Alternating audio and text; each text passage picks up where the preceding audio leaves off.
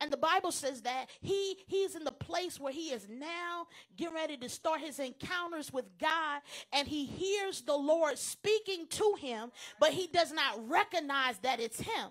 So he goes to Eli. He says, "Did you call me?" See, when you first start off, you won't know what voice it is. But I'm trying to get some of y'all to understand it is Him that is calling you at one o'clock, two o'clock, three o'clock, four o'clock, five o'clock in the morning. And you're saying, Who is this? Is somebody moving in this house? I got it. See, you're thinking it's the bathroom. You're thinking it's the refrigerator. You're thinking it, that your rest has been broken. But it's really God trying to train your ear to hear Him, train your spirit to be sensitive, train your mind to comprehend when God wants to say say something to you that can save a nation, that can save your family, that can derail a plane, that can stop a terrorist attack, that can keep famine from out of your house, that can heal somebody's body, that can deliver somebody.